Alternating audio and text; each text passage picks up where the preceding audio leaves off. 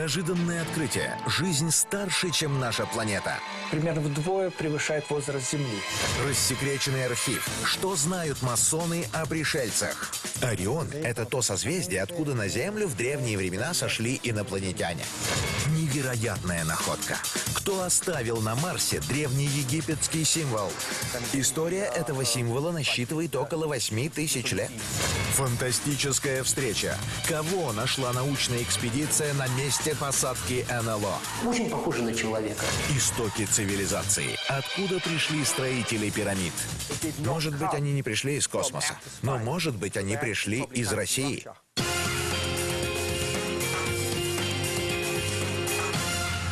Хотя мы и не были на других планетах, однако абсолютно убеждены в том, что жизнь на Земле явление уникальное и по космическим меркам совсем молодое. Ведь если нашей Вселенной 14 миллиардов лет, то Земля в три раза моложе. И вот научные умы терзают смутные сомнения. Если есть множество миров, которые на миллиарды лет старше нас, неужели ни в одном из них нет жизни? Может быть, есть, туманно отвечают учебники, а может быть и нет. Инопланетян-то за руку до сих пор никто не схватил.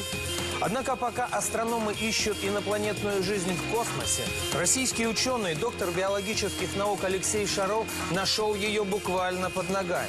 Согласно его расчетам, жизнь на нашей планете намного старше самой Земли. Оказывается, что возраст жизни эм, примерно 9,5 миллиар- э, миллиар- миллиардов лет, что примерно вдвое превышает возраст Земли. На первый взгляд это невозможно. Не может быть курица старше яйца. Не может вначале появиться на свет цветок, а потом семя, из которого он распустился. Не может вначале появиться живая клетка, а уж потом планета, на которой она родилась. А вот и может. Генетик Алексей Шаров, исследуя проблемы эволюции в США в Национальном институте старения, однажды заинтересовался законом Мура, согласно которому объем информации в компьютерах удваивается каждые 18 месяцев.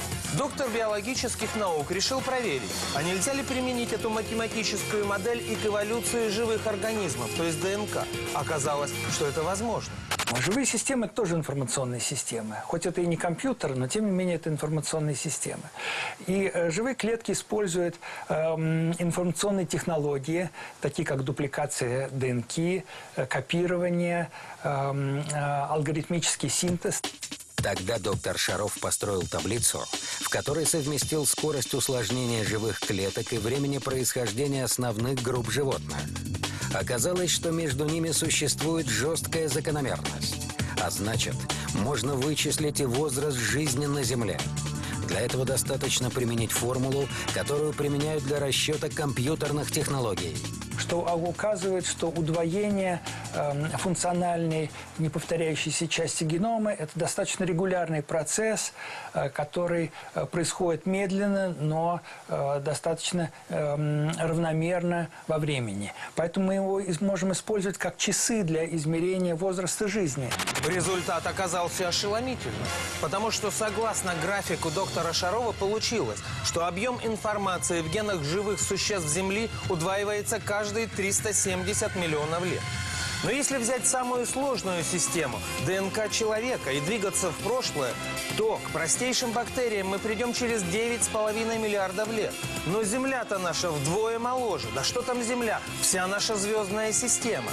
То есть получается, что предки наших микробов старше самого Солнца.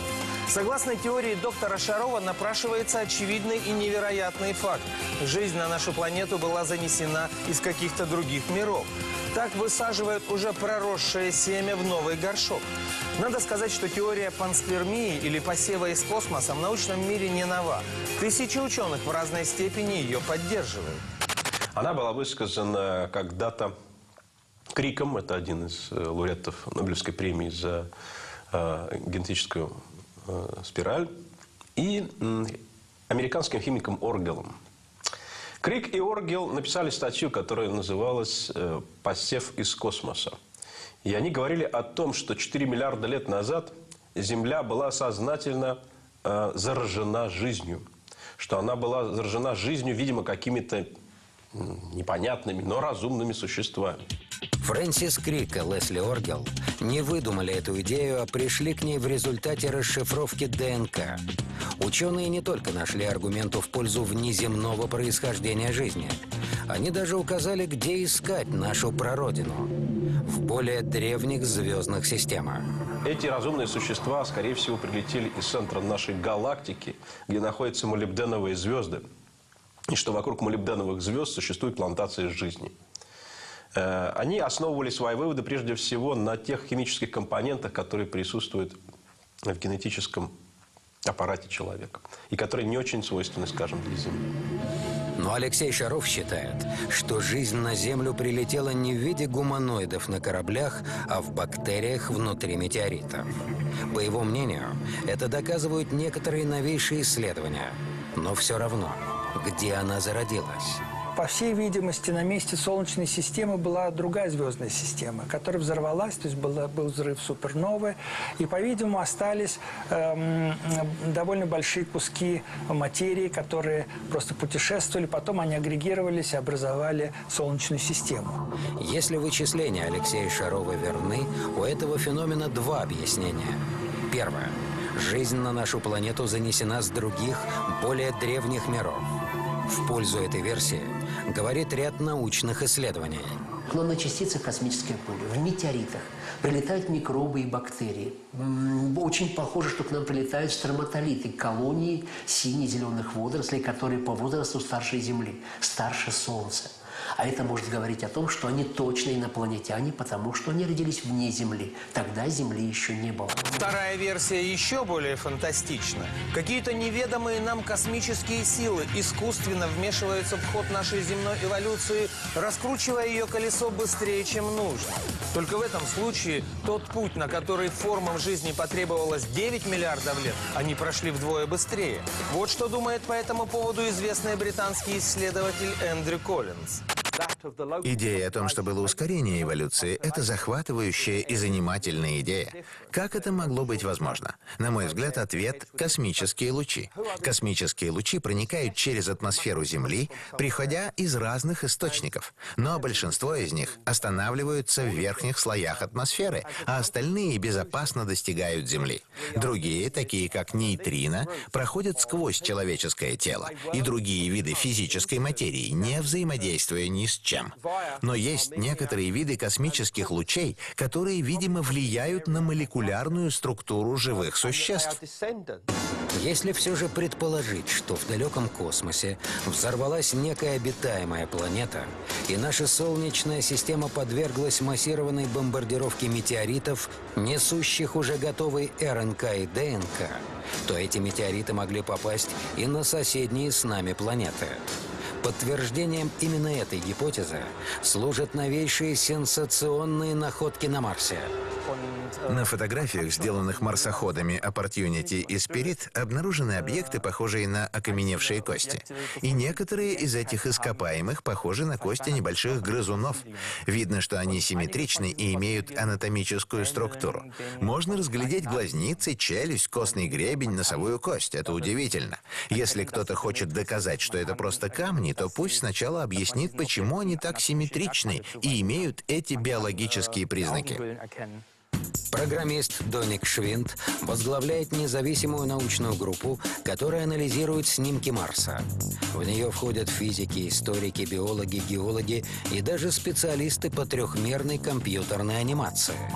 В результате своих исследований они пришли к однозначному выводу. На Марсе раньше была жизнь. Фотографии, сделанные в кратере Гусева, о многом рассказали специалистам.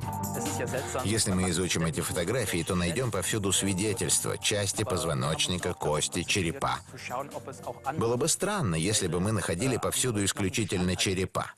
Но там есть и другие части скелета. Найти на фотографиях эти части скелета очень сложно. Меня поймут исследователи Сахары. Там кости тоже выглядят очень незаметно, как куски камня на первый взгляд. И еще эти останки не разрознены. Если мы видим череп, то рядом находим и остальные части скелета.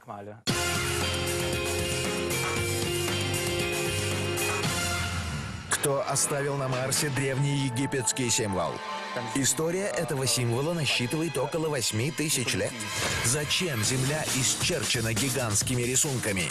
На снимках сверху они имеют идеально правильную э, конфигурацию.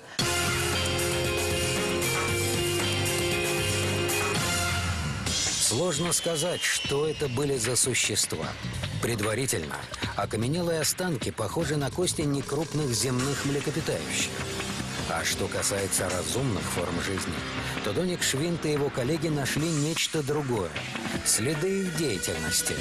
Несомненно, это пирамиды и дороги в регионе Сидония. Там э, есть э, э, несколько пирамид, причем пирамиды намного больше, чем на Земле. Там в городе чуть ли не 2-3 километра высотой. И есть также сфинкс. Э, Если бы все эти э, конструкции были э, созданы природой, тогда между ними не наблюдалось бы некоторых геометрических и математических закономерностей. Но такие закономерности наблюдаются. Мало того, что марсианские пирамиды идеально сориентированы по полюсам планеты и также относительно друг друга. Археолог Уэйн Гершель пошел в своих исследованиях еще дальше. Он заметил, что объекты вокруг лица на Марсе и долины пирамид в точности повторяют схему созвездия Плеяд. На Марсе в регионе Сидония есть каменное лицо, около которого есть идеальный кластер из семи скал. Корреляция с плеядами феноменальна. На Марсе даже совсем маленькие детали ландшафта Сидонии совпадают с маленькими звездами плеяд. Пока это наиболее точный узор, отражающий звездное небо изо всех, которые я видел. Но виртуального археолога Доник Швинта и его команду больше интригует другая местность на Красной планете. Эта гора находится в кратере Хаосарам. И это очень необычная гора, потому что в нее можно заглянуть. Она не закрыта, а полая внутри. И если мы увеличим картинку, то здесь на вершине можно увидеть круглое отверстие, купол. Специально для разгадки природы таких аномалий эксперты группы археолога Донник Швинда применили метод компьютерной фотограмметрии. Это способ воссоздания трехмерной модели объекта по снимкам, сделанным с разных точек. Таким образом, можно даже рассмотреть те стороны объекта, которых нет на снимке. Эта технология широко известна. Она применяется не только в археологии, но и в криминалистике. Если мы возьмем трехмерное изображение, то увидим здесь платформу, пандус, который ведет прямо внутрь горы. Можно предположить, что здесь ездили какие-то объекты. И по этому пандусу заезжали внутрь горы. Выглядит как следы от текущей лавы. Но если взглянуть под правильным углом, то понятно, что это пандус, ведущий внутрь. И это отверстие, это дверь. Огромная. Это потрясающе. Но самое поразительное открытие на снимках этого района – гигантский барельеф на вершине пирамиды. Крылатый диск. Точно такой же, как древний символ, хорошо известный на Земле. Крылатый диск является популярным знаком масонских лож, тайных обществ и даже военно-воздушных сил некоторых стран. Историки Ближнего Востока знают, знак есть на каждом египетском храме, шумерской табличке или персидском барельефе. В Египте он обозначал бога Гора и его территорию. История этого символа насчитывает около 8 тысяч лет. Первым делом найдем его в египетской мифологии. Там есть так называемые крылья Бехедети. Бехедети — это одно из воплощений египетского бога Гора. Его изображают как фигуру внутри крылатого солнца. Стоящая фигура внутри солнечного диска используется также в зороастризме. С этим связана вера в бога Ахура Мазда. Он символизирует власть света и является творцом и покровителем мира и человечества. А в шумерской мифологии диск означал отца богов Ашура и родину богов планету Нибиру. И я, как исследователь, могу э, с полной уверенностью вернуть Марсу его истинное имя, древнее, а Нибиру – это имя Марса. Так вот, то знание, которое пришло с Марса на Землю и нашло свое отражение на Земле, том числе в архитектурных сооружениях, оно очень коррелирует с тем, что мы видим на Марсе. Коллеги Доник Швинта не спешат с выводами, но гуманоидов на Марсе они все же нашли. Правда, нарисовано. В северной части кратера Тёби есть геоглифы. Огромные рисунки на поверхности планеты. Они похожи на те, какими исчерчено плато Наска в Перу. Это геоглиф, гуманоидная фигура из Наски, а это с Марса. На обоих рисунках круглая голова и что-то вроде шлема. Круглые глаза, и здесь такие же, и вытянутое тело. А это недалеко от геоглифов. Очевидно, что это не природные формации, прямые линии. Здесь повторяются точки, а здесь треугольная фигура. Это не могло быть создано естественным путем. Геоглифы Наска в Перу – феномен, который наука объяснить не может. На плато длиной в 50 километров и шириной около 7 нанесены разнообразные линии, геометрические фигуры и рисунки. Они видны только с высоты птичьего полета. Все в Наске так устроено, что полную картину можно увидеть только с воздуха. С земли вы ничего не увидите, ни фигур, ни линий, ничего. Только с воздуха все открывается. И возникает вопрос, что это, собственно, такое? Линий около 13 тысяч, а рисунков около 30. Птицы, обезьяна, паук, цветы. Глубина линий от 10 до 30 сантиметров. Ширина отдельных полос может достигать и 100, и 200 метров. В длину же некоторые линии и по 10 километров. Это невозможно проделать на Земле, не видя всей картины в целом сверху. К тому же поверхность плато, на которой сделаны линии, неровная. Если эти фигуры э, идут по неровному рельефу, на снимках сверху они имеют идеально правильную э, конфигурацию. А, тогда как просто элементарно по закону, если бы это делалось на Земле, они должны были уже искажаться, потому что там гипотенуза всегда длиннее катета. Вот. Но вот на снимках сверху э, всегда эти фигуры выглядят идеально правильными.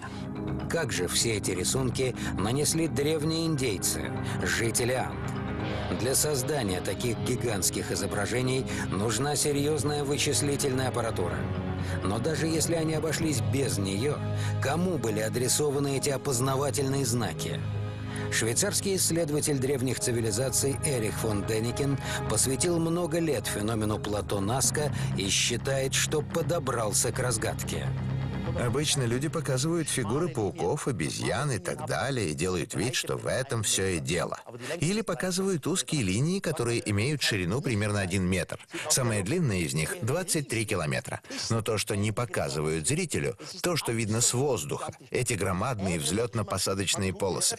А эти полосы самое главное.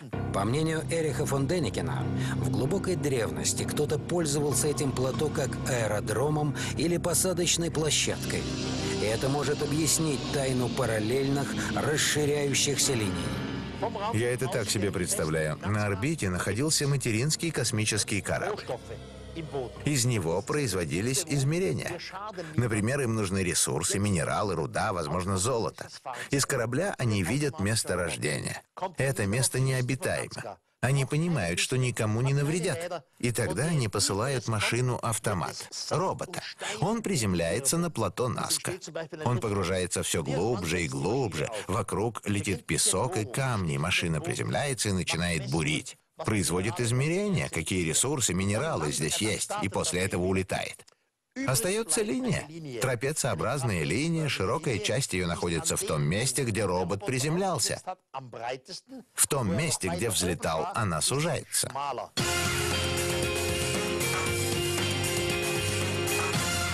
Что нашли исследователи марсианского рельефа?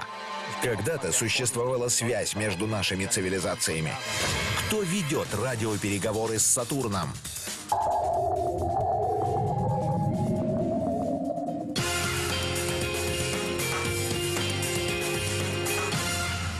Технические специалисты уверены, что люди не могли нанести вручную даже часть линий на плато Наска.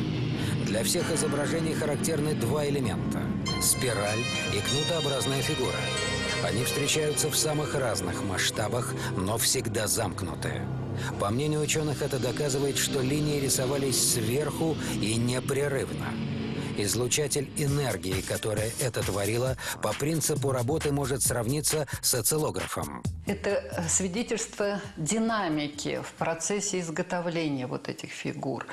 Э, потому как, если взять просто зигзаги, там прямоугольные, пиловидные, там синусоидальные. Это результат сложения движения в двух, проект, в двух направлениях. То есть, если это импульсные э, скачки, то будет э, там пилообразно. Если это э, мгновенные и с одной интенсивностью, это будет вот типа прямоугольных зигзагов.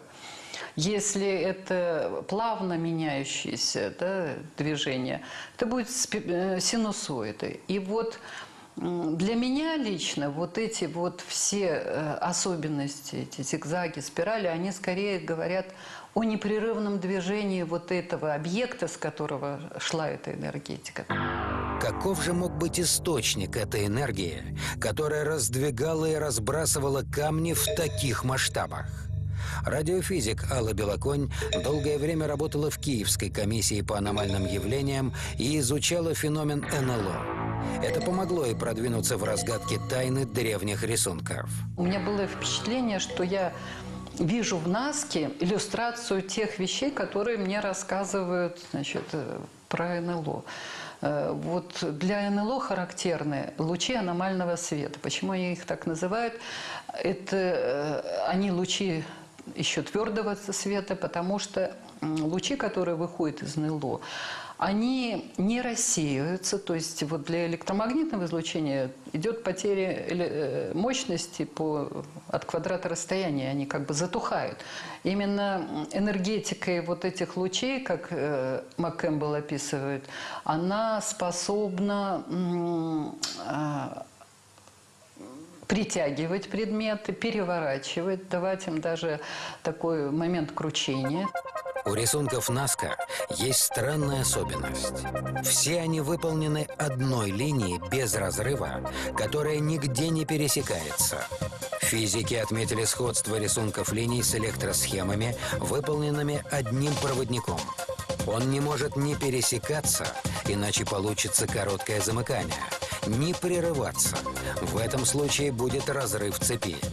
Когда профессор Евгений Файдыш впервые увидел линии Наски, он подумал, что они напоминают печатные платы, а отдельные фигуры очень похожи на современные фрактальные антенны. Определенная форма, эта форма, она уже резонирует. То есть, в принципе, вот те же антенны, их можно карандашом даже нарисовать, э, если там графит, чтобы он проводящий был, она будет как антенна работать. Там не материал играет основную роль, а именно геометрия, форма. Получается, плато Наска – это комплекс связи. Если линии Наска действуют подобно антенне, то есть принимают и передают сигналы, то возникает вопрос, куда же она направлена? И по мнению Евгения Файдыша, ответ на этот вопрос следует искать не на Земле. Они настроены, по-видимому, какие-то космические объекты и принимают э, и информацию, энергию из космоса. Но тогда какую роль выполняют геоглифы на Марсе? Может ли быть, что у земных и марсианских рисунков один автор – Символы на Марсе и в Наске очень похожи, поэтому довольно легко установить взаимосвязь между ними. Это было бы слишком невероятно, что природа два раза совершенно случайно создала два таких похожих объекта. Все это свидетельство того, что когда-то существовала связь между нашими цивилизациями. Но когда это было определить практически невозможно.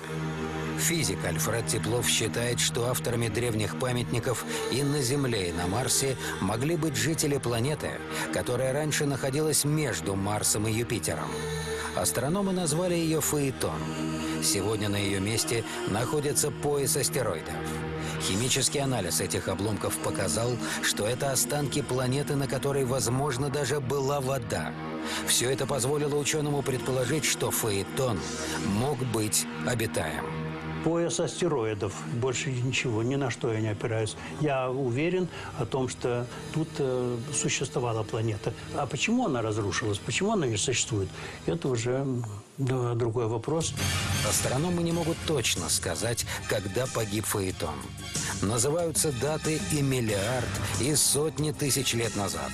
А по мнению Альфреда Теплова, катастрофа могла произойти и не так давно, и даже остаться в памяти людей после того, как погибла планета какая-то, так, то на Землю обрушиться мог э, целый дождь этих метеоритов всевозможных. И эти метеориты могли привести как раз к возникновению всемирного потопа. То есть они вскипятили своим падением океан, растопили э, эти северные и южные полюса, ледники. И поэтому действительно получилась такая история, что произошло затопление очень большой территории суши на земном шаре. В то же самое время знатоки древних текстов уверенно заявляют, что ни в одном манускрипте прямо не говорится, что кто-то прилетал с Марса или Венеры. А ведь эти небесные тела, видимые даже невооруженным глазом, были известны сэры самых первых наблюдений за небом древние народы уделяют внимание многим звездам, э, созвездиям, причем э, далеким от нас. Но ни в одном древнем предании, ни в одном манускрипте нет даже и близкого упоминания о том, что звездные прародители человека или небесные прародители проживали или пришли с э, планет, от которых, которые расположены близко от нас, с Марса, Венеры э, или с Фаэтона. Доник Швинд склоняется к гипотезе фон Деникина. По его мнению, родина тех, кто нанес гигантские рисунки и построил пирамиды на Земле и Марсе, находится даже не в Солнечной системе. Я скорее сторонник той теории, что на Марсе и Сатурне мы видим следы пребывания именно пришельцев. Для меня марсиане скорее инопланетяне, а не туземцы. Мало кто знает, что Сатурн – одна из самых загадочных планет. Как она живет и что происходит на ней, пока не может объяснить никто. Например, с тех пор, как космический зонд Кассини впервые записал исходящие от Сатурна странные радиосигналы, прошло уже около 10 лет. Но ни агентство НАСА, ни ученые до сих пор не могут объяснить природу этих звуков. Запись попала в интернет, энтузиасты уже назвали ее переговорами пришельцев. Послушайте сами эти леденящие кровь голоса с планеты Сатурн. Действительно, похоже на загадочные радиопозывные. Во всяком случае, четко слышен ритм и закономерности. Вот еще необъяснимые факты. Странный объект, снятый камерами Кассини, будто бы выстреливает струю плазмы. Что это? Сопло двигателя? Снимки были сделаны 20 ноября 2007 года. Кроме того, исследователи снимков телескопа Хаббл рассмотрели на Сатурне загадочный шестиугольник. А на кольцах планеты сигарообразные объекты правильной формы. Эта информация была опубликована в солидном научном издании журнале Science News. Однако, если жизнь попала в Солнечную систему извне, то откуда? На днях аэрокосмическое агентство НАСА официально сообщило об открытии сразу 715 новых экзопланет. Космический телескоп Кеплер, стартовавший с Земли в 2009-м, два года собирал данные о возможном существовании планет в видимой ему части Вселенной. И еще два года проверял эти данные. Все эти небесные тела вращаются вокруг 305 звезд и имеют разные размеры. В основном это небольшие планетки вроде Нептуна. Вторая по численности группа – объекты вроде Земли. Более того, четыре обнаруженные экзопланеты входят в так называемую зону жизни. Таким образом, всего на данный момент астрономам известно около 1700 планет вокруг других звезд.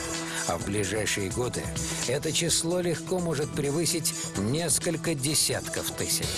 По оценкам нашей галактики, ну минимум 100 миллиардов планет должно быть.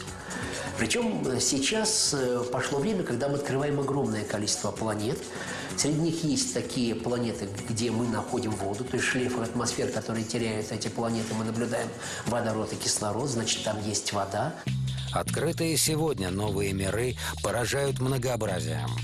Газовые, водные, скалистые, металлические, гигантские, совсем крохотные, ледяные или раскаленные до нескольких тысяч градусов. Есть даже алмазные планеты, как гигантские драгоценные камни. А это самая темная из известных планет. Она настолько черна, что поглощает почти весь попавший на нее свет. Но цвет не всегда показатель того, что условия на планете ужасные или наоборот благоприятные. Эта голубая планета расположена на расстоянии более 60 световых лет от нас. На ней не прекращаются дожди из стекла, которые переходят в шторма. Есть миры, которые освещаются сразу двумя или даже тремя солнцами. Есть даже блуждающие планеты. Это небесные тела, вытолкнутые со своей орбиты и потерявшие свою звезду. Но на каких из них может быть жизнь? Должна ли она быть основана на углеводородных соединениях, как у нас? Жизнь основана на атомах других химических элементов, на атомах азота, на атомах, допустим, э, я не знаю, ну каких там, бора или кремния. Это вопрос отдельный. Дело в том, что образование сложных веществ – это сложный процесс. Углерод дает наиболее простые варианты, которые реализуются быстрее, легче. Вот углеродная форма жизни, я думаю, самая распространенная, наверное, все-таки.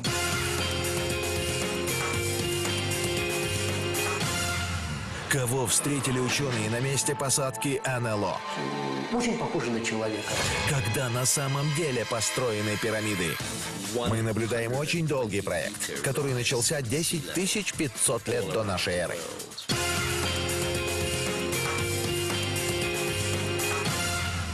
Большинство экспертов предлагает определять наличие жизни не по химическому составу планеты, а по спектральному классу ее Солнца.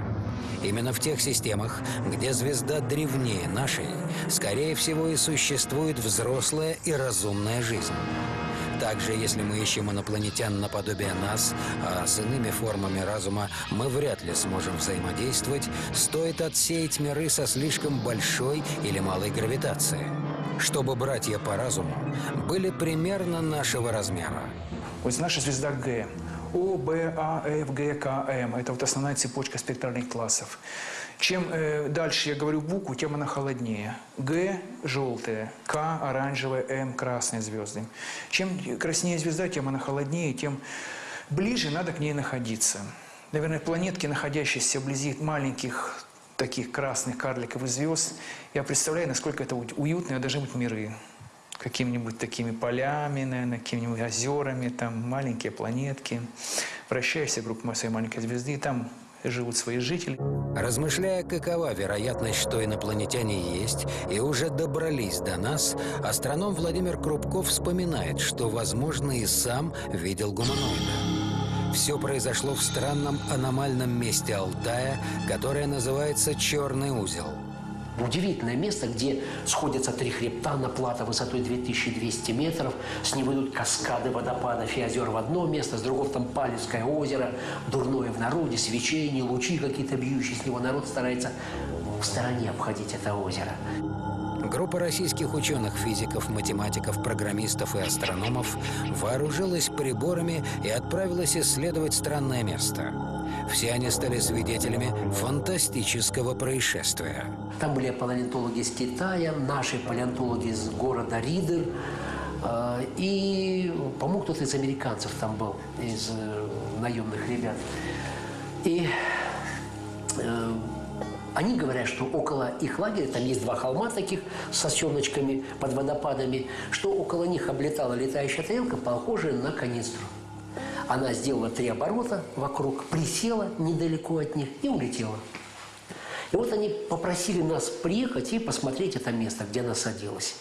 Ученые начали изучать предполагаемое место посадки НЛО, как вдруг что-то вокруг неуловимо изменилось. Вот все нормально было вроде бы, а потом такое ощущение было, что потемнело. Вот ощущение, что как будто вот куполом накрыли каким-то фильтром. То есть все было видно, нормальное ощущение, что свет два раза упал. Вот как-то отвлеклись на это внимание и боковым зрением заметили движение. По словам Владимира Крупко, в нескольких сотнях метров от них по склону двигалось странное полупрозрачное существо. Причем было видно ощущение, ну, как из стекла существо сделанное. И горы переливались, вот как разная плотность, скажем, если это не однородное какое-то стекло, да, а оно имеет форму какую-то, это вершины гор переливаются. И вот это продвигалось около нас, том раз как будто бы растворилось. Очень похоже на человека, похоже на того из фильма «Хищника». Это я всегда сравниваю, что очень похоже. Как полагается членам научной экспедиции, эксперты независимо друг от друга зарисовали увиденное. Рисунки полностью совпали. Это не могло быть массовой галлюцинацией. К сожалению, больше никаких вещественных доказательств в тот раз добыть не удалось. И когда вот это происходило, даже мысли не возникло схватить фотоаппарат и сфотографировать. То есть вот настолько были поражены этим зрелищем. Мы потом попытались по тем вот камням, которые там были, по утесам, высота, вот, вот мы определили около трех метров. Вот так мы определили для себя. И когда меня спрашивают иногда, а сколько вы видели инопланетян? Я говорю, а сколько надо увидеть, чтобы поверить, что мы в этом мире не одиноки. Мне этого случая хватило за глазу. Откуда вообще родилась идея, будто тысячи лет назад нашу планету посещали пришельцы? Эпос некоторых древних народностей прямо указывает на то, что их прародителями являются боги, сошедшие с небес. Если говорить о космографии, о расселении звездных предков древних народов, то, наверное, все-таки следует начать с Библии, где есть такие очень интересные слова. А, Кто есть Творец э, созвездия Ориона и Семизвездия? Господь ему имя. Амоса 5.8. Под э, семизвездием в данном тексте подразумеваются плеяды. И все-таки даже если оставить наших звездных предков-фантастов, все равно остаются вопросы. Если внимательно присмотреться к некоторым доисторическим памятникам и доисторическим достижениям наших предков, нельзя не заметить поразительного, ничем не объяснимого несоответствия между уровнем развития древних жителей Земли и тем, что они оставили нам в качестве археологических находок. Первым, кто обратил внимание научного мира на эти факты, был английский археолог Джон Эрик Томпсон. Изучив календари индейцев майя, их достижения в математике и астрономии, он оставил в своем труде изумленные строки. Цитирую. Что за умственные выверты привели майя к составлению карты неба, но не позволили им дорасти до принципа колеса? Что позволило им научиться считать миллионами, но не суметь взвесить даже мешок кукурузы? Трудно не согласиться с известным археологом по поводу умственных вывертов древних людей. Кстати, то же самое имеет прямое отношение и к египтянам. Огромные пирамиды, инженерная сложность которых сделает честь и современному архитектору. Откуда 4000 лет назад такие знания? Не зная о том, что Земля круглая, не зная длины ни меридиан, ни параллелей, э, не точно э, вычисляя э, объект, э, Землю по ее размерам, не зная расстояния до Солнца и до Луны, они могли так четко э, скоординировать эти пирамиды, что эти пирамиды э, идут точно по меридиану. Угол наклона коридоров, которые там есть, они напоминают, значит, угол видения на некоторые звезды, в частности, там на Венеру. И многие другие совпадения, которых так много, что случайностью это трудно назвать. Египтолог Роберт Бьювилл первым обратил внимание, что Великая пирамида Хеопса идеально сориентирована по сторонам света. Но оказалось, что ее параметры учитывают еще и ряд космических координат. Великая пирамида самая идеальная, самая большая, самая впечатляющая, установлена на Земле в идеальном соответствии с астрономическими сторонами света – Иными словами, они должны были прицеливаться в какое-то небесное тело, чтобы достичь такого рода точности. Великая пирамида точна до 5% одного градуса. Идеально в соответствии с четырьмя сторонами света. Каждая сторона направлена в сторону одной из сторон света. Это всегда поражало, поскольку, чтобы достичь такой точности, нужно прицеливаться в маленькую точку, вероятно, звезду. Это должна быть звезда. Нельзя прицеливаться в Солнце, оно слишком велико. Историка Грэма Хэнкока всегда манили тайны египетских пирамид. Он изучал их много лет и недавно сделал странное, интригующее открытие. В наследии Египта ученый нашел следы неизвестной высокоразвитой цивилизации. Сначала он подобрался к разгадке того, почему сфинкс – это лев с головой человека. Куда он смотрит, чье у него лицо и зачем он нужен. Официальная точка зрения Грамма Хэнкока не устраивала. Она гласит, что сфинкс – это статуя фараона Хафра, владельца второй пирамиды и построена четыре с половиной тысячи лет назад. Но новейшие данные геологии показали, что монумент гораздо старше. Эрозия на теле сфинкса является результатом того, что он находился тысячи лет под экстремально сильным дождем. Такого дождя в Египте не было за последние пять тысяч лет. Нужно идти за тысячи лет до этого, чтобы наткнуться на упоминание про действительно сильный дождь на исходе ледникового периода, который мог быть причиной такой эрозии сфинкса. В таком случае, когда же и кем был построен Великий Сфинкс?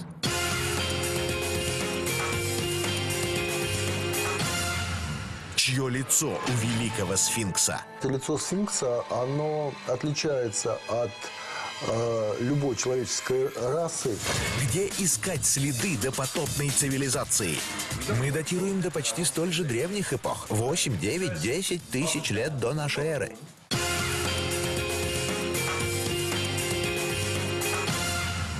Вероятный ответ на первый вопрос Хэнкок получил неожиданно. С помощью точнейших компьютерных программ он вычислил, куда смотрит статуя. Оказалось в условную точку на горизонте, где восходит солнце в день весеннего равноденствия. Что бы это значило? Какие еще астрономические объекты находятся на небе там, куда устремлен взгляд сфинкса? Созвездие Зодиака. Но из-за сложного вращения Земли они постепенно сдвигаются на небе. Тут Хэнкока осенила догадка. Оставалось понять, когда перед восходом Солнца статуя смотрела на созвездие, которое, вероятно, олицетворяет льва. Так получилась дата. На рассвете в день весеннего равноденствия в 10500 году до нашей эры точно в этот момент созвездие Льва находится точно над Великим Сфинксом, который, конечно, является скульптурой с телом льва и, как мы предполагаем, изначально и с львиной головой. Потом те, кто обнаружил эту скульптуру, переделали ее в скульптуру с лицом человека, но изначально это был полностью лев. Но кто и зачем сделал льву голову человека и чье же это лицо? Облик сильно поврежден, но компьютерная реконструкция внешности дала поразительные результаты. Лицо сфинкса, оно отличается от э, любой человеческой расы, и это не является, как считают египтологи, лицом фараона Хафра.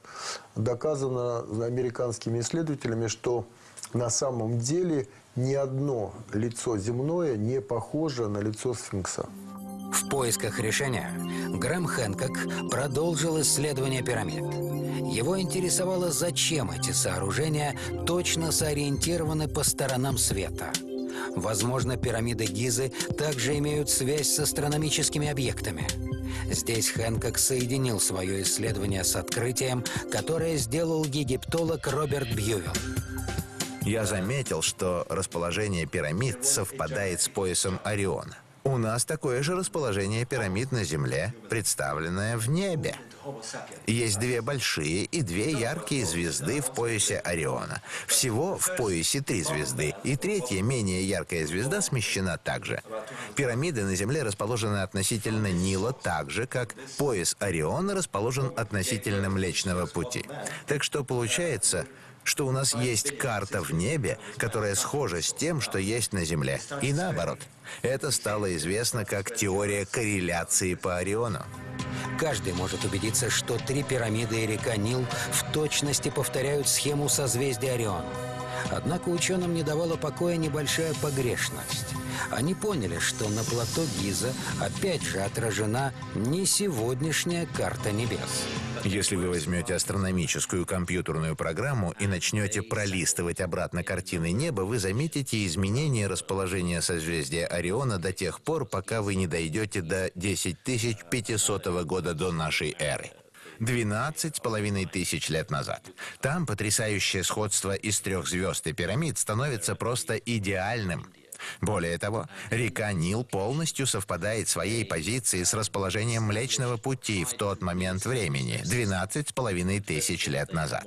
Я не говорю, что тот, кто создавал комплекс Гизы, также расположил Нил там. Нил уже был там. Но это месторасположение было выбрано из-за расположения реки Нил в то время. Древнеегипетский жрец Манифон составил единую летопись истории страны. Египтяне были убеждены, что изначально ими правили боги, жившие на земле. Это благословенное время называлось Зептепе. Гранитный храм на плато Гиза и великую пирамиду Хеопса связывают с богами Осирисом и его супругой Изидой. Символом Осириса и было созвездие Орион. Символом Изиды была звезда Сириус. Время правления Осириса по Манифону приходится на середину десятого тысячелетия до нашей эры. Выходит, что так мы получаем возраст пирамид – 12 с половиной тысяч лет назад. Указания на время Хэнкок и Бьювилл нашли в третий раз. Изнутри Великой пирамиды от так называемых камеры царя и камеры царицы идут четыре шахты. Они направлены на конкретные звезды. Из этой комнаты выходят проходы, шахты под определенным углом. В королевской комнате есть шахты, которые были направлены... Ведь звезды изменили положение. Во время строительства они были направлены в сторону пояса Ориона. Мы совместили все эти данные, что очень сильно поддержало эту гипотезу. Однако здесь результаты датировки были противоречивы. Все эти четыре шахты направлены на четыре звезды, на позиции, которые они занимают не 10 500 лет до нашей эры, а в 2500 лет до нашей эры, во время раннего Египта. К примеру, шахта в камере царицы направлена на звезду Сириус, на ее место в 2500 году до нашей эры. И звезда Сириус была очень важна для древних египтян, а шахта — в палате короля направлена на самую низкую из трех звезд пояса созвездия Ориона, которую древние египтяне ассоциировали с богом Осирисом. И это не может быть случайностью. То же самое с северными шахтами, которые направлены на звезды созвездия Дракона и Малой Медведицы. Но ведь вся история Египта, согласно общепринятой точке зрения, началась всего пять тысяч лет назад. Кто и зачем мог оставить звездный маркер на дату, когда, по мнению официальных историков, не было никаких разумных цивилизаций? Научный мир воспринял открытие Бьювилла и Хэнкока в штыки – Скептики снова и снова перепроверяли результаты вычислений и так и не смогли найти ни одной ошибки. Астрономия была очень точна, аргументы были очень убедительными. Но где же артефакты? Где какие-либо доказательства того, что там были люди? Однако недавно мы обнаружили свидетельства на локациях в Сахаре, которые мы датируем до почти столь же древних эпох. 8, 9, 10 тысяч лет до нашей эры. Мы также нашли локации в Турции, в Гебеклитепе, которые дают такие же даты. Так что сейчас есть очень сильное давление в сторону того, чтобы поверить, что цивилизация куда старше, чем мы думаем. Что все это значит?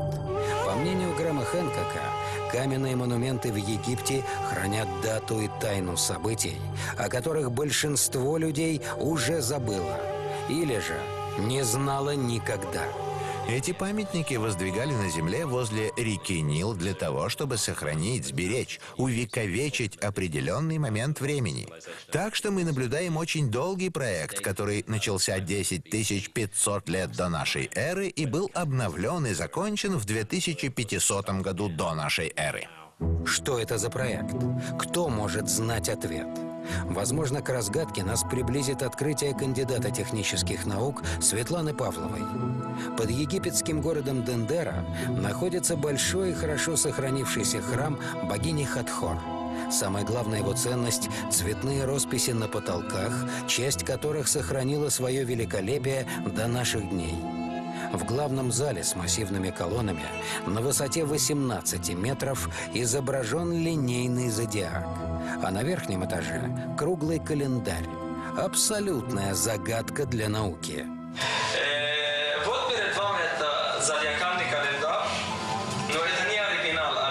Сейчас находится во Франции. Светлана Павлова посвятила расшифровке Дендерского зодиака много лет. Она работала с фотокопией оригинала. Светлана Николаевна обнаружила в календаре с помощью математики и геометрии записано важнейшее послание. Когда я смотрела, еще не углубившись вот в сам этот дендерский зодиак, я просто смотрела на него и понимая, что египтяне обладали невероятным уровнем знаний, что они не могли просто так нарисовать фигуру, что они должны определенным закономерностям подчиняться. Их расположение должны фиксировать какие-то моменты, они должны передавать информацию. Это не э, украшательская картинка. Просто так для чего-то взяли и для украшения интерьера взяли нарисовали.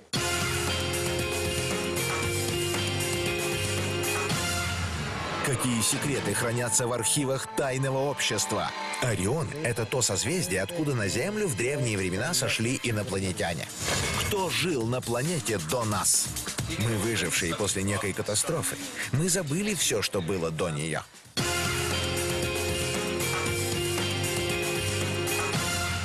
На Дендерском зодиаке изображено звездное небо. Но не сегодняшнее, а какое люди видели 12 с половиной тысяч лет назад.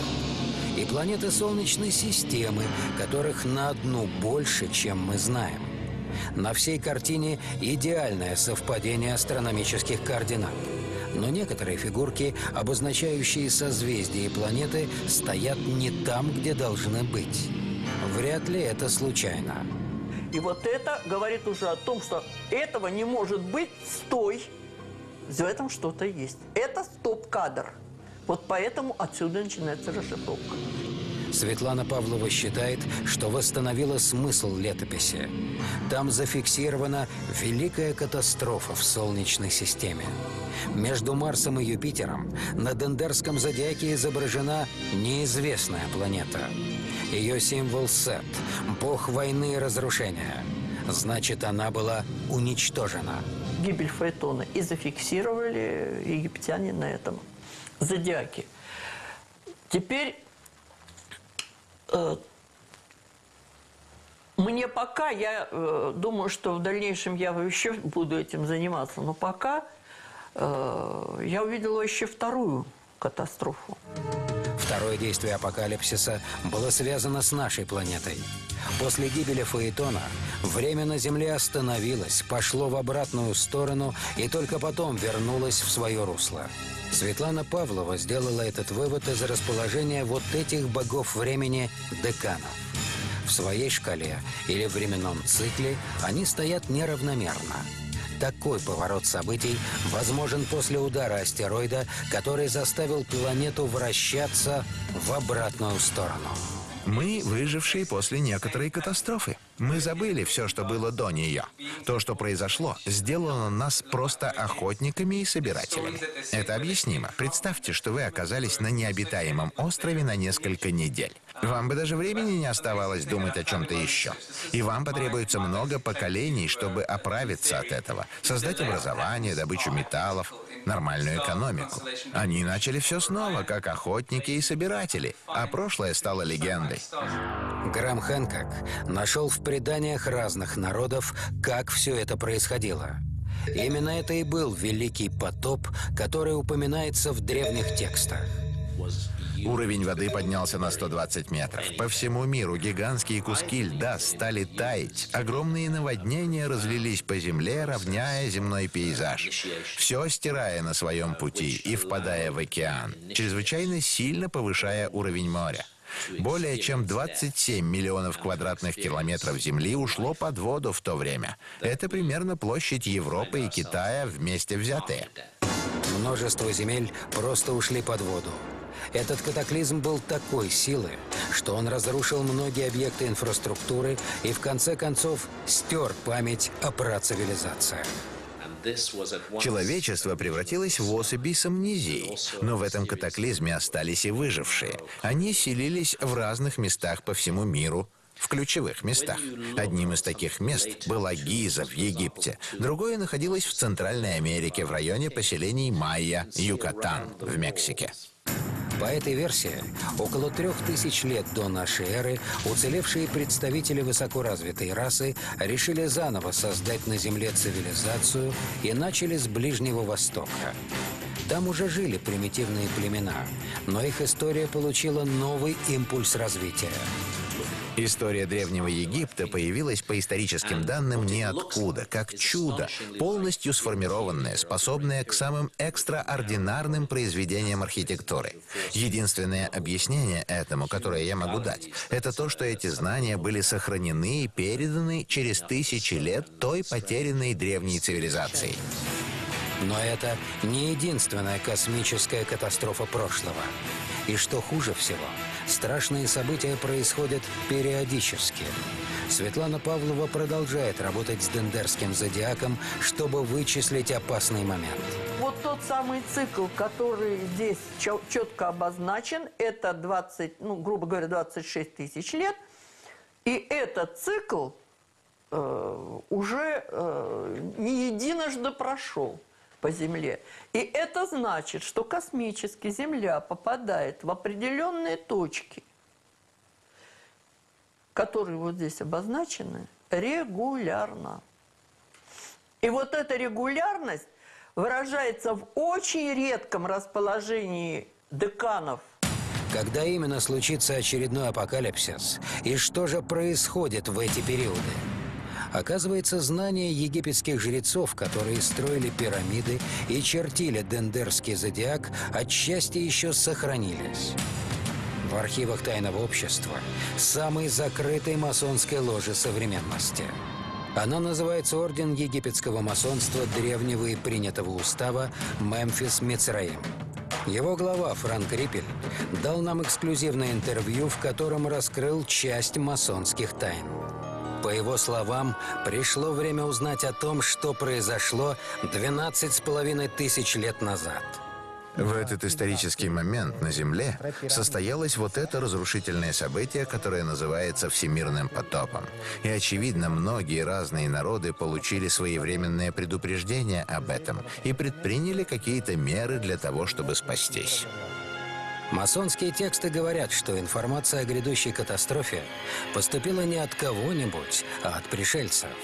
Они имели на Земле своих представителей-жрецов и общались с ними, давая знания и контролируя развитие цивилизации на Земле.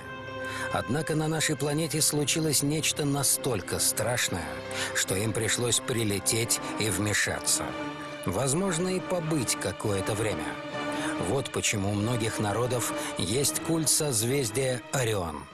Орион – это то созвездие, откуда на Землю в древнее время сошли инопланетяне.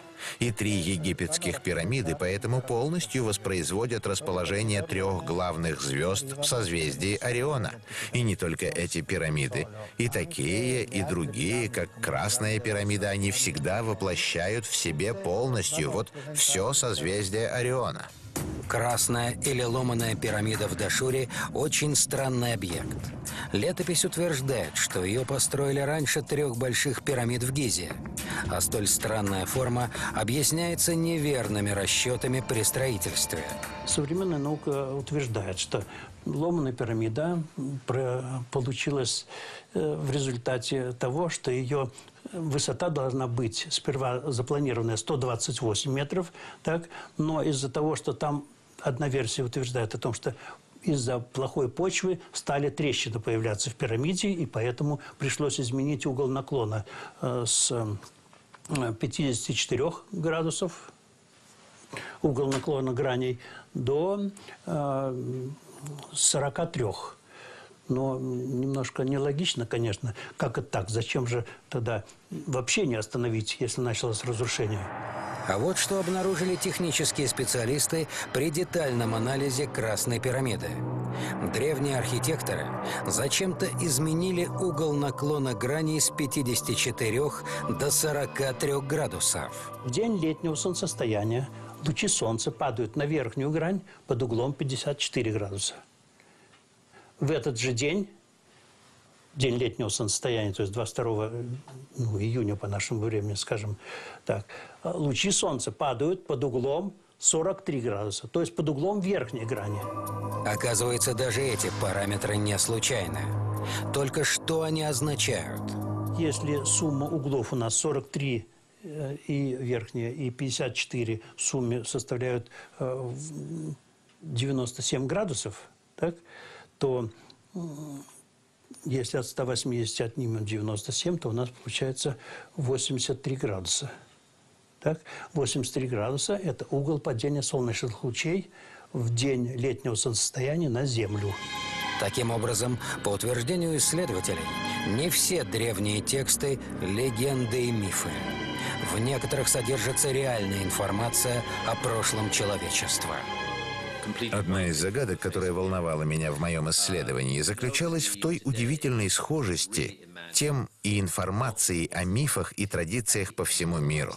Например, очень удивительно находить в мифологии многих разных культур, от древних майя до древних египтян, древних индейцев, понятие о том, что Бог спускается с небес на землю, со звезд, если хотите, а иногда даже с определенных звездных систем, например, созвездия Ориона или Плеяды. Такие боги приносили мудрость на землю.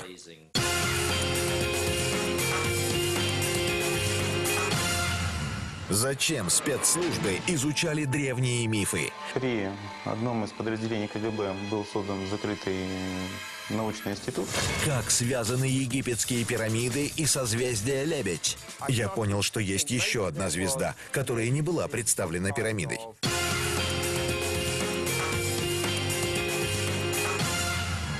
По словам Франка Риппеля, это объясняет, почему пирамиды находят в разных уголках нашей планеты у народов, которые разделены океанами и эпохами. Эти каменные сооружения – технология иной, более старшей расы – Цивилизации, которые никак не соприкасались друг с другом, все обладали умением строить пирамиды. Соответственно, очевидно, что было какое-то инопланетное влияние, какой-то контакт, в результате которого инопланетяне передали это умение строить пирамиды. То, что говорит этот человек, может показаться фантастикой. Однако мало кто знает, что в начале 80-х годов прошлого века к масонским тайнам и наследию древних цивилизаций с большим вниманием отнеслись советские спецслужбы.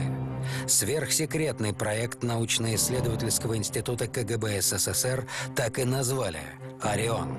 В его рамках аналитики изучали древние тексты – военные специалисты имели доступ э, к таким интересным библиотекам, как, например, Александрийская, потому что там есть, э, скажем, тексты, которые можно встретить только у историка Манифона. А мы прекрасно знаем, что все работы Манифона сгорели в Александрийской библиотеке. И конкретно указывается вот в этих документах, что вот именно те первые правители Египта, они были никем иным, как э, выходцами из других планет. Исследователь Николай Субботин утверждает, что его источники передали ему часть документов, с которых снят гриф секретности. При одном из подразделений КГБ был создан закрытый научный институт, который в то время носил название «Кодовый ромб». А, все дела этого проекта, ну вот я разговаривал со специалистами, которые эти папки в руках держали. Некоторые папки мне тоже посчастливилось э, подержать в руках, то есть я понял, что это там не какой-то не фотошоп, не наводил какой-то, это реально существующие документы. В документах советского проекта «Орион» есть схема, где пирамиды Египта спроецированы на плато Наска в Южной Америке. И эта графическая модель также показывает, как созвездие Орион четко накладывается на комплекс пирамид пирамид в Гизе. Зачем это делалось? Возможно, аналитики просто искали сходные черты. Но не исключено, что у них были и другие соображения. Очевидно, э, строя вот эти комплексы, может быть, это, знаете, вот как э, огромный пазл. То есть одна схема дополняет другую. Э, цели мы, конечно, до сих пор понять не можем, и сложно их понять. Но, тем не менее, вот прослеживая эти тенденции, понимаем, что влияние цивилизации было глобально, скорее всего, на всю планету. Историк Эндрю Коллинз сделал в Египте еще одно громкое открытие. Он изучал культ созвездия Северного Креста или Лебедя.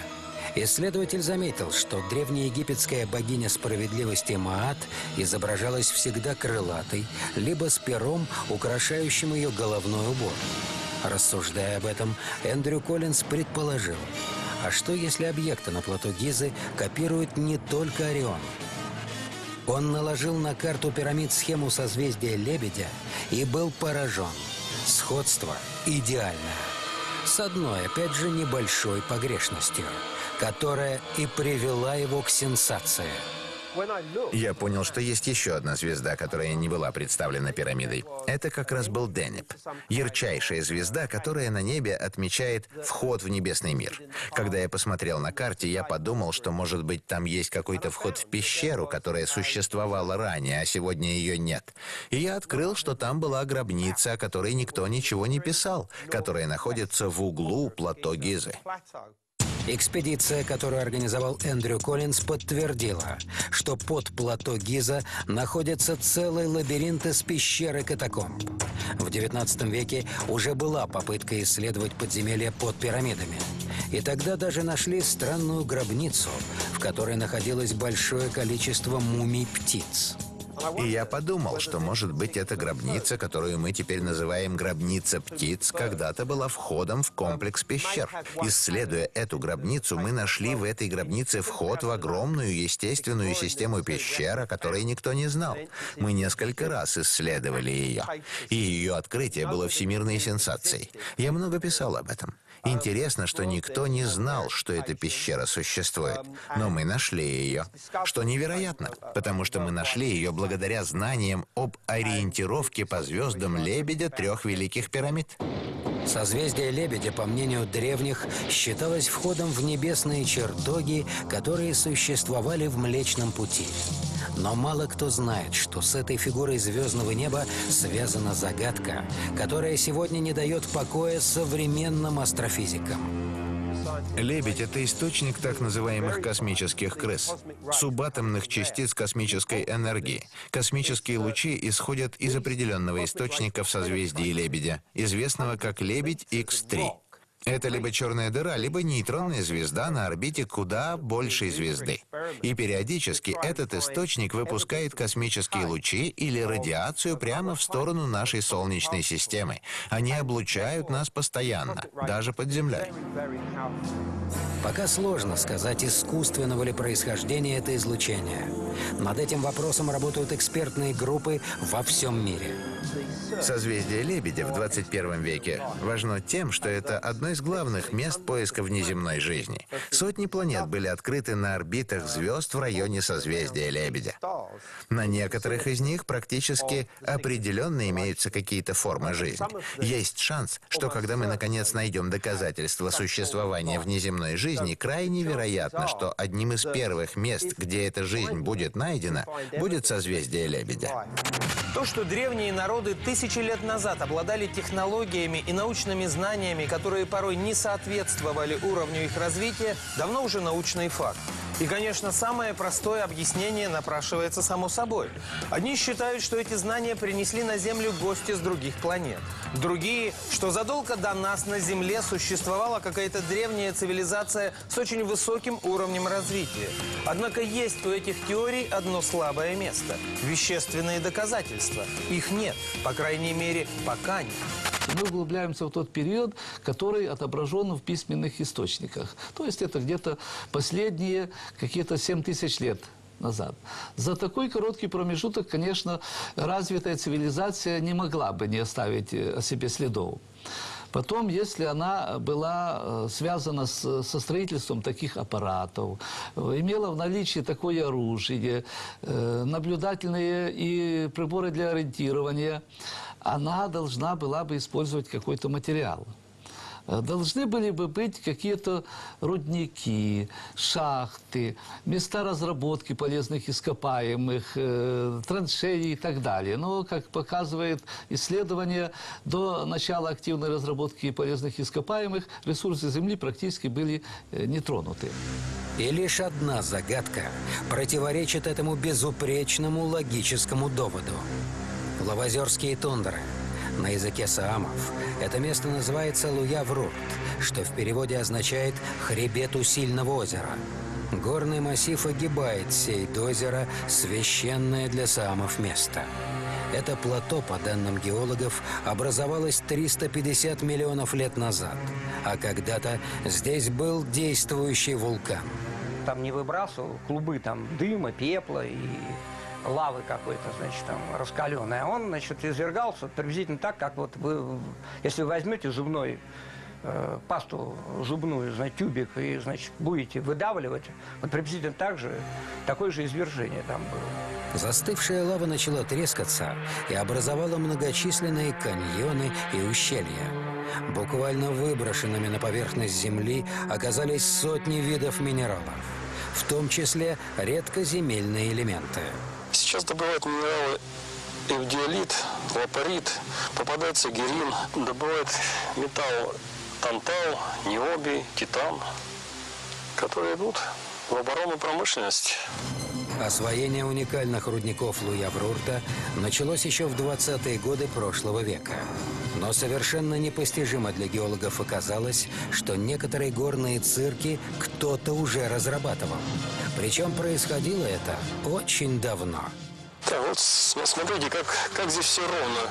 Э, в, природе не, в природе не может быть такого ровного образования. Все-таки как будто это все выровняли катком, большим катком или как, как бульдозером.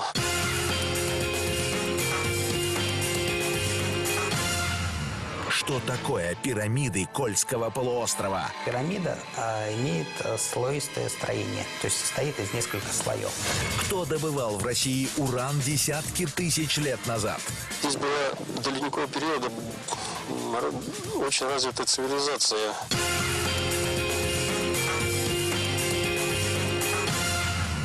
Неужели в Луяврурте несколько тысячелетий назад могли добывать минералы? Геологи полагают, что происходило это после последнего ледникового периода, когда Кольский полуостров освободился ото льда. Об этом красноречиво свидетельствует поверхность четырех горных цирков, в том числе Раявра. Его края не заглажены глетчерами навесными. Навесной глетчер – это ледник, который сползает вниз и отрабатывает стену цирка. То есть вот эти вот ответственные стены отрабатываются ледником. И таким образом края должны быть заглажены. Понимаете? А они вот такие. Вот можно сидеть на краю, свесив ножки туда, и там глубина будет 500 метров. Четыре горных цирка, один из которых сегодня заполнен водой, по словам геолога, не вписываются в теорию геоморфологии. По всем показателям, в них уже велась добыча минералов. Но кто это мог делать не менее 10 тысяч лет назад? Редкоземельные элементы, которыми так богаты рудники Луяврурта, образуют тугоплавкие оксиды.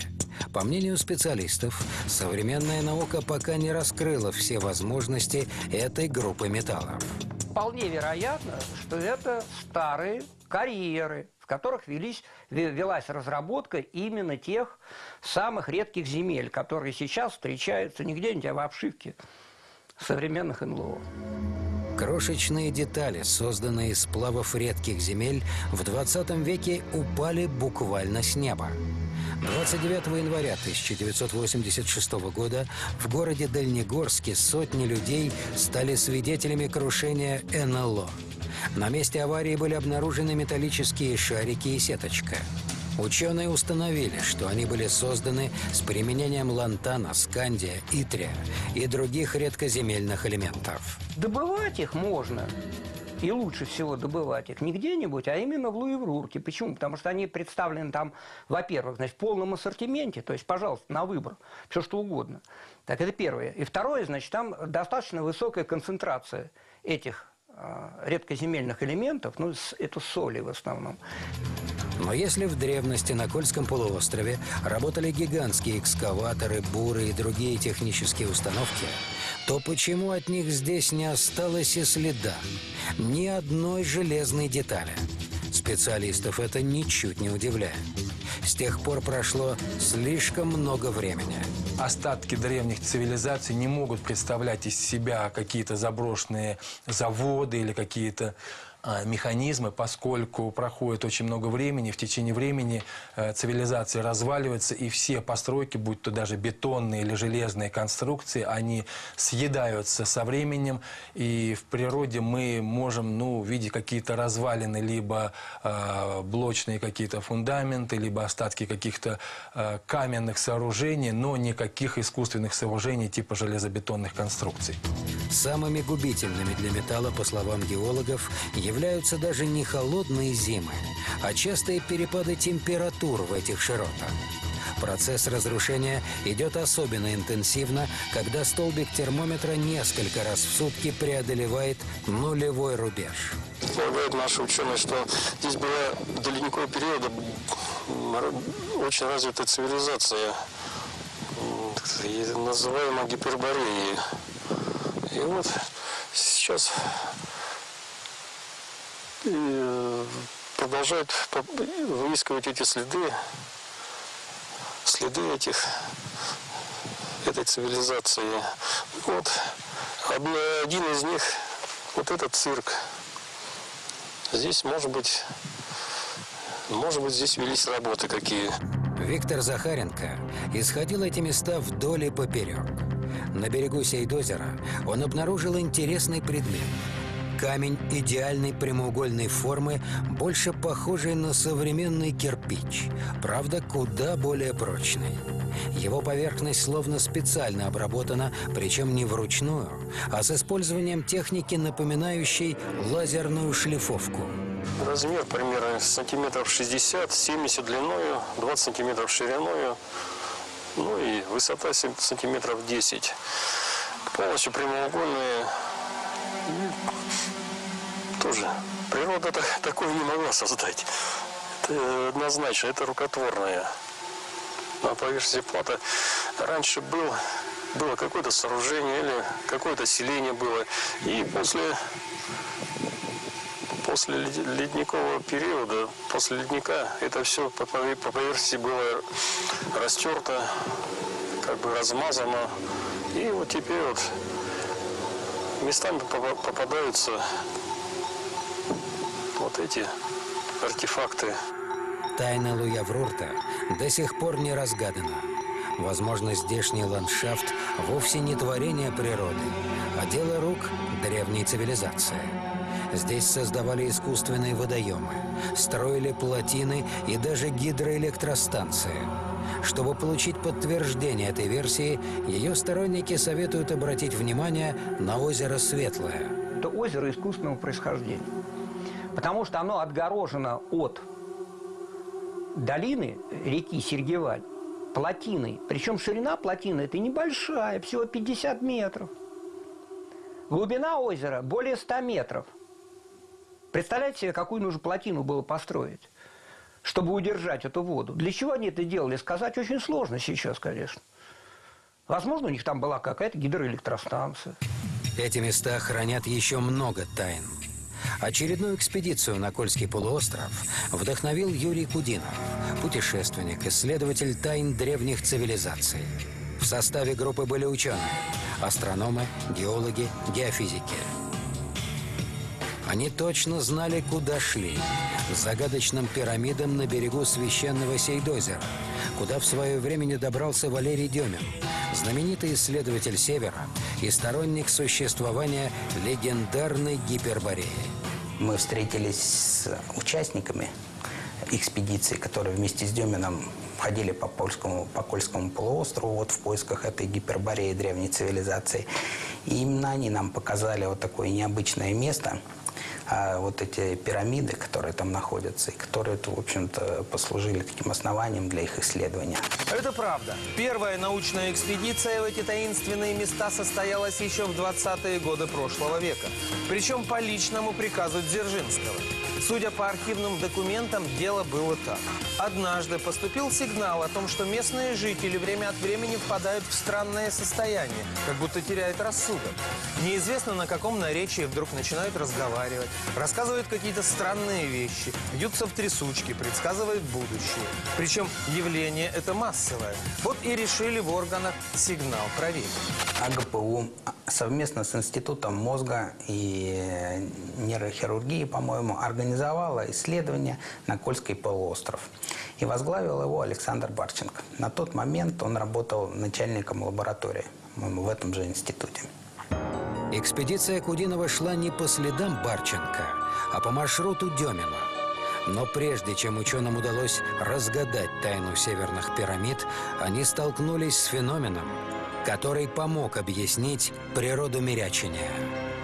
При попытке исследовать любую расщелину или ход в подземные полости их охватывало необъяснимое чувство ужаса. Об этом писали и участники первых экспедиций. Совместный мозговой штурм разных специалистов позволил понять, мистики, скорее всего, здесь нет. Эти места хранят залежи урана. Но, судя по радиоактивному фону, это уже обедненный уран. И вот что невероятно. Это вещество может получиться только в одном случае – при обогащении урана сложной искусственной процедуре, которую кто-то проделывал в этих местах тысячи лет назад. И именно объединенный уран вызывает побочные явления в психике. Это схема объединенного урана, который закладывается сегодня реально в снаряды, которыми стреляют по публике в Югославии, в Ираке. Потому что объединенный уран создает фон при котором начинается процедура мирячения уже не у лопарей, а у людей в Ираке. Уран он и лечит, и калечит. То есть вот в этой дозировке он может лечить. Вот в этой дозировке он может калечить. Кто об этом знал? Только шаманы.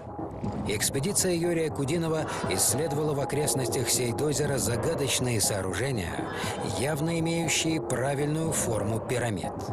Ученые просветили эти объекты с помощью георадара. Что же показал прибор? Геофизики, произведя анализ значит, э, радиопоказаний георадара или радиограмм, как они их называют, пришли к мнению, что пирамида э, имеет э, слоистое строение, то есть состоит из нескольких слоев. То есть первый слой имеет высоту примерно 7 метров, потом его добавляли, и он стал около 10-12, а потом его, значит, добавили до 15-20 метров. И э, вывод, который они делают, в связи с проведенными исследованиями, то, что это было сделано, скорее всего, рукотворным путем. Но самое важное, что внутри пирамид Кольского полуострова есть пустоты.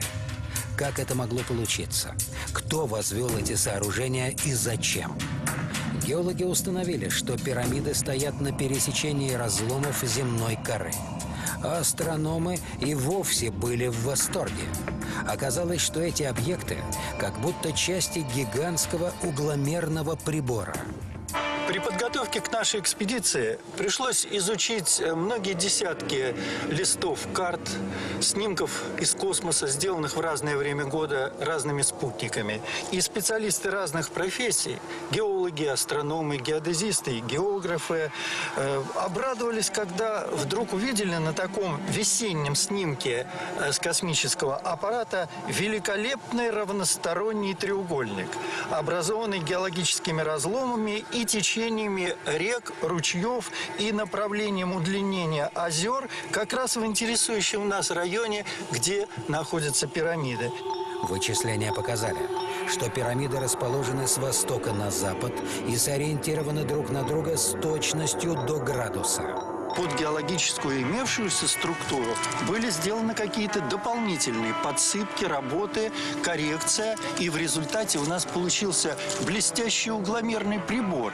Две пирамиды, смотрящие на восток и на запад, позволяют э, построить и солнечный, и лунный календарь. Исследования не позволили установить, сколько лет этим сооружениям и каким образом они были спроектированы. Возможно, ученые еще вернутся сюда. Для тех, кто, может быть, не помнит, скажу, что самый древний храм на нашей планете, по крайней мере, из обнаруженных археологами, находится в Турции. Его возраст не менее 12 тысяч лет. Представьте себе, он в три раза старше, чем египетские пирамиды. Ученые пока не могут ответить на вопрос, что за цивилизация и зачем построила его. Но еще большую загадку представляет собой ответ на вопрос, почему они покинули это место и почему они его засыпали песком около 8 тысяч лет назад. Гёбекли-Тепе мало изучено археологами. Я думаю, что цивилизация, которая его строила, началась 17 тысяч лет назад. Скорее всего, это был храм. И, скорее всего, как все мегалитические сооружения на Земле, он тоже ориентирован на звезды.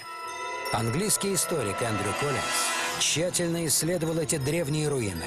Его выводы поразительны.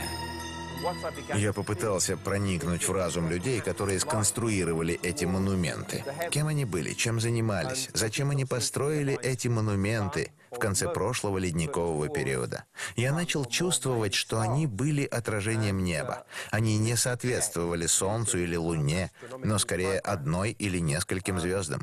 Это было проверено с использованием астрономических программ. И получилось, что они сориентированы на одну определенную звезду на небе. Это Денеп, ярчайшая звезда созвездия Лебедя.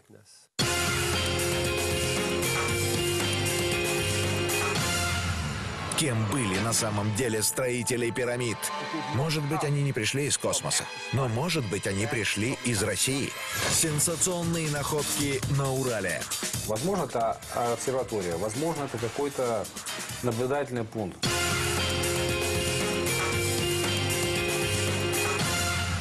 Созвездие Северный Крест именуется созвездием Лебедя только у славян. Кстати, этот символ занимает особое место в русской культуре. Сказочная царевна-лебедь, по мнению ученых, это образ великой славянской богини, птицы-матери Сва. Случайно ли в языках северных народов, скандинавов и бритов, лебедь называется «сван»? Лебединую символику археологи нашли и при раскопках первобытной стоянки на Среднем Урале и среди петроглифов Онежского озера – Крылатые девы со стилизованным оперением встречаются и на русских вышивках.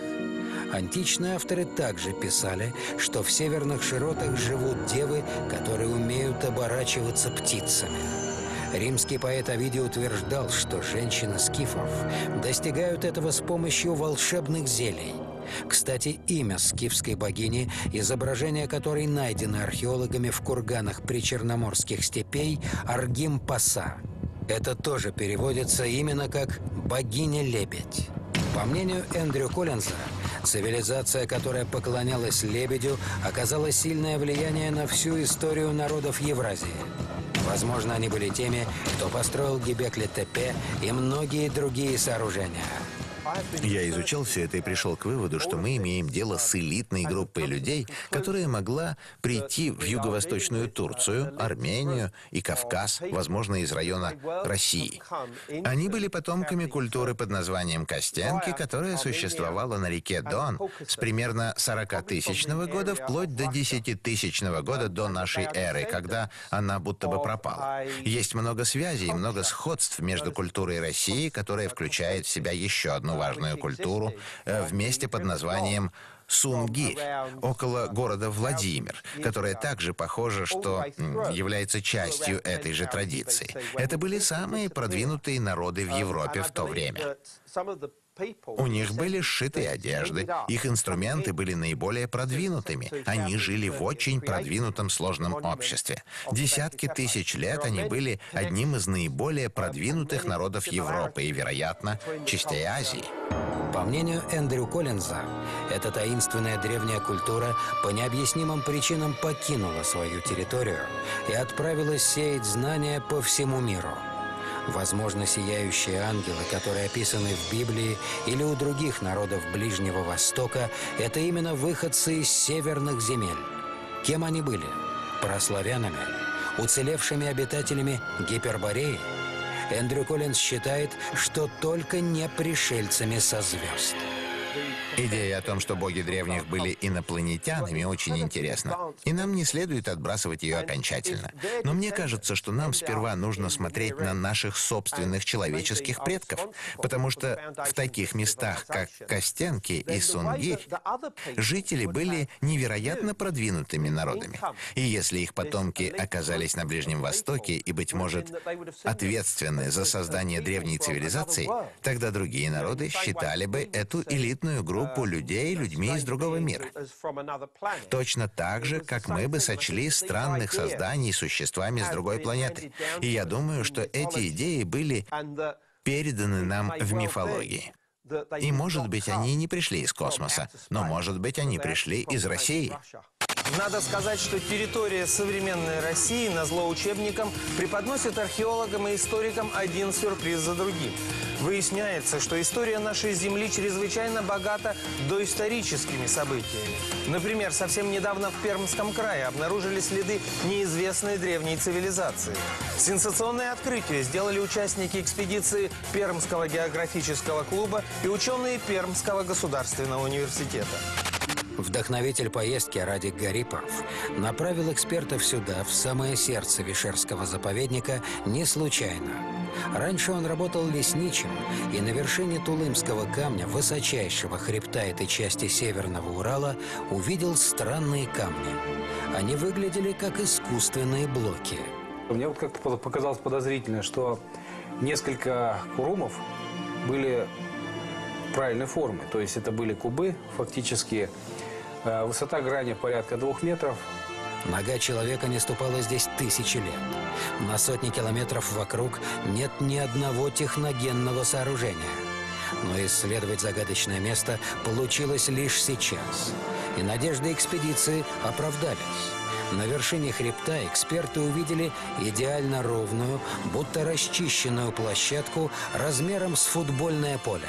Настолько грамотно и красиво она сделана – что вот просто ну, никаких сомнений не остается, что это люди делали, которые, э, скажем так, по уровню развития, ну, всяко они ниже нас. То есть прямо вот было очевидно, что э, шел хребет, его равняли, э, делали, скажем, вот разбрасывали породу каким-то образом. Рядом некое подобие ступенчатой пирамиды, вот. Дальше идет еще одна площадка. То есть это целый комплекс пирамид, скажем так. Соответственно, э, когда обращаешь взор на север от этой площадки, там тоже возникает ощущение, что те две горные вершины Тулым, самые высокие, они тоже сделаны каким-то образом искусственно. Это были еще не все находки. На одном из пиков, недалеко от площадки, участники экспедиции обнаружили фрагмент каменной плиты со следами высокотехнологичной обработки – как видите, такие прямые углы, срезы, пропилы в природе немыслимы. Но это делали явно не первобытные люди. Такой камень нельзя обтесать примитивными инструментами. Ученые установили, что это серитовый сланец. Он чуть мягче гранита. Глыба пилилась именно, скажем так, закруглениями, не просто квадрат, а именно закруглениями. Э, есть у меня сейчас фотография артефакта Скваркуша, где э, на большой плите, хор, плите хорошо обработанной причем. Вот видно, что она ровненькая, все, прямые углы и так далее. Там даже есть технологические пропилы. То есть вот э, возникает ощущение у человека технического склада, вот как, например, я, да, что вот эти вот пропилы, они делались для чего-то. Либо это элементы крепления, либо это сделано для каких-то коммуникаций, да, ну там проводку проложить, э, трубопроводы, все что угодно. Но самое невероятное – Датировка находки. Возраст камня можно определить лишь приблизительно по органическим следам вокруг. Однако срезы сделаны так ровно, что лишайник не смог глубоко внедриться в поверхность. Эксперты применили другой способ. По их мнению, обработанный камень – часть сооружения. Он найден на склоне, и рядом ничего нет. Значит, все сооружение стояло на вершине и было разметано некой силой. Этой силой, скорее всего, был ледник. Получается, здание на горе было построено в доледниковый период, более 12 тысяч лет назад. Что же это такое и кто его возвел? Диспетчерский пункт аэродрома? Но кому он мог понадобиться на горе среди непроходимой тайги? Возможно, это обсерватория, возможно, это какой-то наблюдательный пункт, чтобы контролировать все близлежащие территории. Это тоже возможно. Возможно, там стояло что-то подобие, наподобие радиомаяка, как э, навигационной системы. Местные легенды ничего не говорят об этом месте. Все случилось так давно, что по руинам уже почти ничего нельзя понять. Однако кое-какие мысли у ученых все же возникли. Но они касались не способа строительства, а характера разрушения. У меня сложилось впечатление, когда я изучал э, вот этот артефакт, что это, в общем-то, был, э, скажем так, это осколок от какой-то большой конструкции. Причем осколок, который был оторван оттуда, с этой конструкции, э, взрывом. Вот такое ощущение возникло. Именно взрывом. Что же за высокоразвитая культура жила на территории России десятки тысяч лет назад? Почему от них осталось так мало? Но самое непонятное – как объяснить совпадение символики? Крылатые диски на Марсе и в Египте, славянские лебеди и звездное отражение на карте Великих пирамид и турецких руинах. Сколько мы еще не знаем о том, что происходило до нас. Однако остались послания, зашифрованные в древних каменных сооружениях с помощью высоких технологий. Возможно, по мере их изучения мы найдем ответы на многие вопросы. Что ж, будем помнить, что мы наследники великой и древней цивилизации, которая насчитывает десятки тысяч лет. А значит, мы сегодняшние не должны подводить своих великих предков. Это была территория заблуждений. Я желаю вам космического счастья, вселенской удачи и вечной любви. До встречи в следующий вторник, но не в 20.00, как это было раньше, а в 21.00, то есть в 9 часов вечера. С вами был Игорь Прокопенко. Не переключайтесь, потому что сейчас вас ждет пища богов. Будет вкусно.